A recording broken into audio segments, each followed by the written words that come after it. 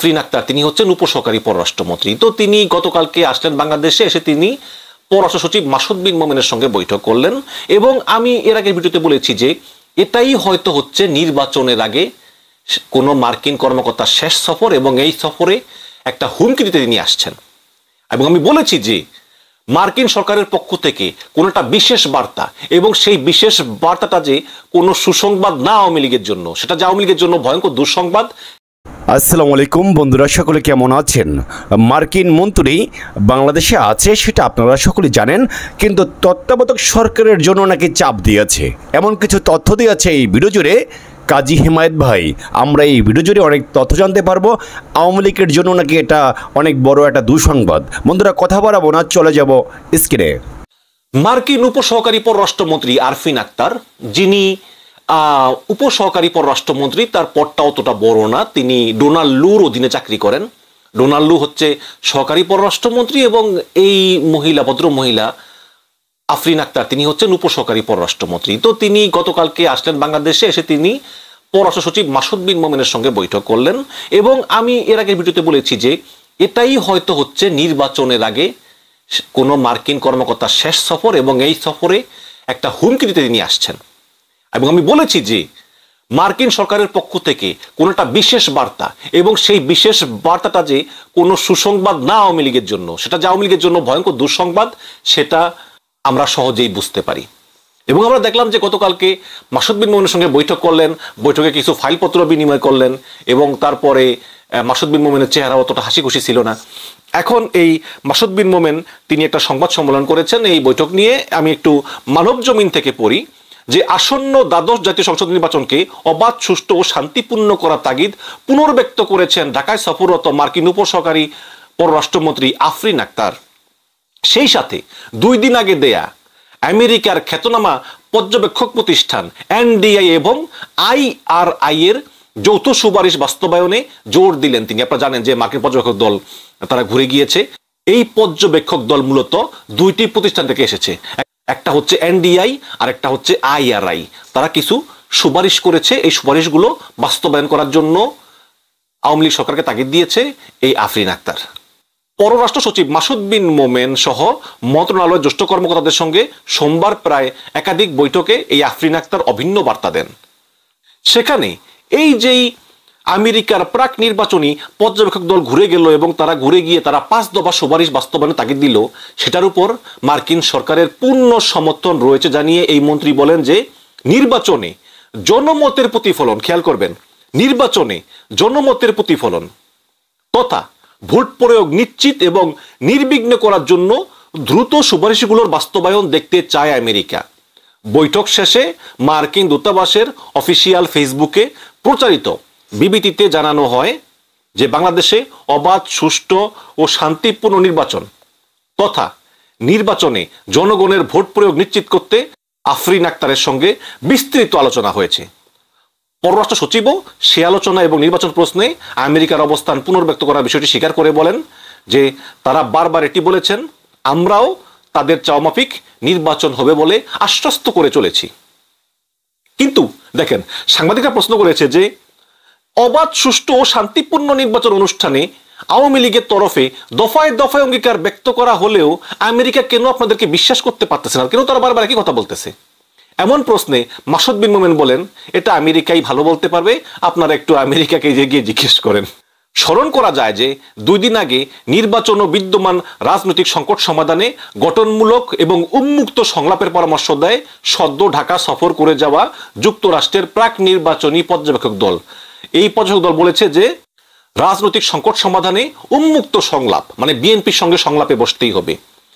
আমেরিকার দুটি প্রধান রাজনৈতিক দল, রিপাবলিকান এবং ডেমোক্রেট পার্টির থিঙ্ক ট্যাঙ্ক হিসেবে পরিচিত ইন্টারন্যাশনাল রিপাবলিকান ইনস্টিটিউট, আইআরআই এবং ন্যাশনাল ডেমোক্রেটিক ইনস্টিটিউট, এনডিআই, তাদের ছয় সদস্যের একটি প্রতিনিধি দল গত আট থেকে এগারোই অক্টোবর ঢাকায় ছিল এবং তারা ওয়াশিংটনে ফিরে গিয়ে তাদের ফাইন্ডিংস বা পর্যবেক্ষণটা তুলে ধরে এবং সেখানে তারা বাংলাদেশের বিদ্যমান রাজনৈতিক বাস্তবতায়, তারা বলে যে আসলে এখানে নির্বাচনের মতো পরিবেশ নাই এবং এই নির্বাচনের পরিবেশ ফিরিয়ে আনতে তারা পাঁচ দফা সুপারিশ সম্বলিত একটা রিপোর্ট করে। ওই রিপোর্টে আছে যে, বলা হয়েছে যে এই দেশে শক্তিশালী গণতান্ত্রিক মূল্যবোধের রীতি রয়েছে। আছে গতিশীল মিডিয়া, সক্রিয় নাগরিক সমাজ এবং রাজনীতিতে যুক্ত নাগরিকরা। বাংলাদেশ কয়েক দশকে শক্তিশালী অর্থনৈতিক প্রবৃদ্ধি অর্জন করেছে এবং দু হাজার একচল্লিশ সালের মধ্যে এদেশে উন্নত হওয়ার ভীষণ রয়েছে। তা সত্ত্বেও কিন্তু বাংলাদেশের গণতান্ত্রিক যাত্রা আজ চ্যালেঞ্জের মুখে। বিশেষত বিদ্যমান রাজনৈতিক পরিবেশ, নির্বাচনী সততার প্রতি বড় রকমের বাধা সৃষ্টি করেছে। দেখেন, বিদ্যমান রাজনৈতিক পরিবেশ, নির্বাচনের জন্য বাধা। এর মধ্যে রয়েছে আপোষহীন অথবা কোনো কথাই নাই। ওদের সঙ্গে কোনো আলোচনা নেই, এরকম একটা রাজনীতি।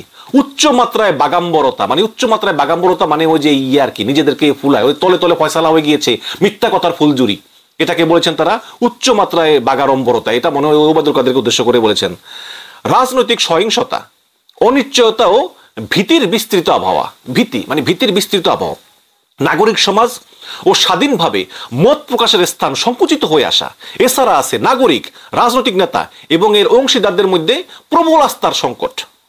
নারী, যুবক শ্রেণি এবং অন্যান্য প্রান্তিক গ্রুপগুলো অংশগ্রহণের উল্লেখযোগ্য বাধাও বর্তমানে বিদ্যমান, যা গণতান্ত্রিক মূলনীতির প্রতি চ্যালেঞ্জ এবং হুমকি।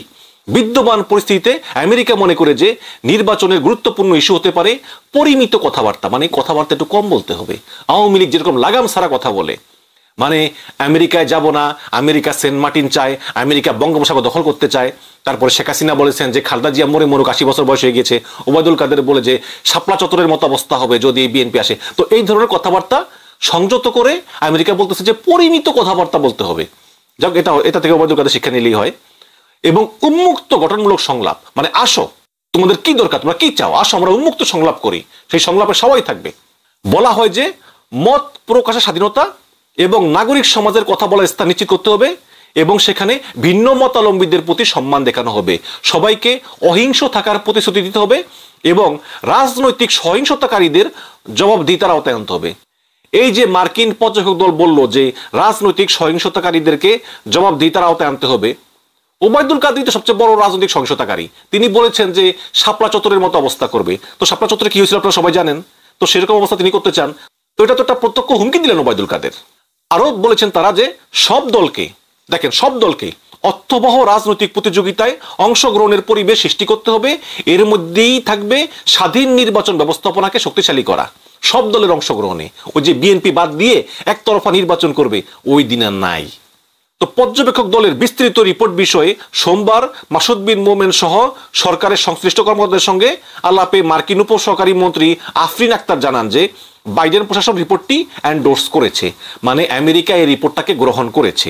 তখন সাংবাদিকরা পররাষ্ট্র সচিব মাসুদ বিন মোমেনকে জিজ্ঞেস করেছেন যে আমেরিকা বাংলাদেশকে বলেছে যে আমেরিকার যে প্রাক নির্বাচন নির্বাচক দল যে সুপারিশটা করেছে, সেই সুপারিশ যাতে বাংলাদেশ বাস্তবায়ন করে।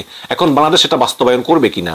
তখন মাসুদ বিন মোমেন বলেন যে, আমরা তা এখনও বিচার বিশ্লেষণ করতেছি এবং নির্বাচন কমিশন এটা দেখতেছে। উল্লেখ্য যে, বৈঠক শেষে মার্কিন দূতাবাস যে বিবৃতি দিয়েছে, তাতে জানানো হয় যে, বাংলাদেশে একটি অবাধ শান্তিপূর্ণ সুষ্ঠু নির্বাচন অনুষ্ঠানের জন্য তাগিদ পুনর্ব্যক্ত করেছেন ঢাকায় সফররত আমেরিকার পররাষ্ট্র দপ্তরের দক্ষিণ ও মধ্য এশিয়া ব্যুরোর রেসিডেন্ট সেক্রেটারি আরফিন আক্তার এবং এগুলো বলেছেন আর কি এবং ওই মার্কিন দূতাবাসের ফেসবুক পোস্টে দেখেছি যে কয়েকটা ছবিও দেওয়া হয়েছে। আর আফরিন আক্তার তিনি পররাষ্ট্র সচিব মাসুদ বিন মোমেনকে কিছু কাগজপত্র দিয়েছেন। সেই কাগজপত্রের ভিতর কি তালিকা মালিকা ছিল না, নিষেধাজ্ঞা, নতুন কিছু ছিল আমরা জানি না।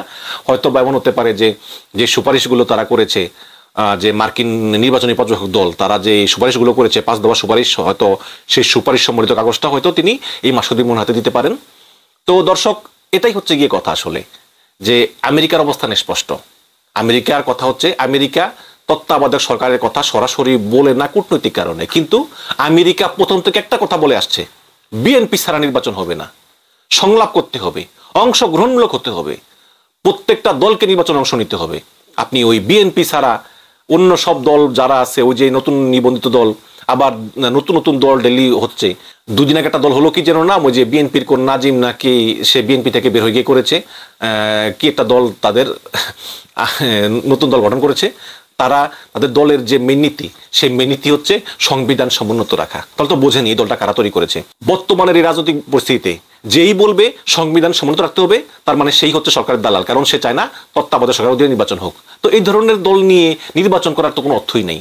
এটা আমেরিকা বারবার বলেছে এবং আমি মনে করি নির্বাচনের আর তিন মাস বাকি আছে। এই তিন মাস বাকি থাকতেই মার্কিন মন্ত্রী আফরিন আক্তার তিনি আবার এসে শেষ হুমকিটা দিয়ে গেলেন যে এটা এটা করো এটাই আমাদের শেষ কথা। এখন দেখি সরকার কি করে। এবং সরকারের উপর যে চারদিক থেকে রাজনৈতিক চাপ আসছে, আন্তর্জাতিক চাপ আসছে, এমনকি ভারত থেকেও আসছে, এতে কোনো সন্দেহ নাই। ধন্যবাদ। সম্মানিত দর্শক, সম্পূর্ণ আলোচনা দেখতে পেয়েছেন যে মার্কিন মন্ত্রী বাংলাদেশে এসে যে বার্তা দিয়েছে, সেটা আপনারা সকলেই দেখতে পেয়েছেন। এই বিষয় নিয়ে আপনাদের মন্তব্য কি? অনেক তথ্যই পেয়েছেন। কাজী হিমায়ত ভাই বর্তমান যে নির্বাচন নিয়ে অনেক তথ্য দিয়েছে, সেটা আপনারা সকলেই জানতে পেরেছেন। এ সম্পর্কে কিছু বলতে চাইলে মেসেজ করে জানাতে পারেন। ভালো থাকবেন। আসসালামু আলাইকুম।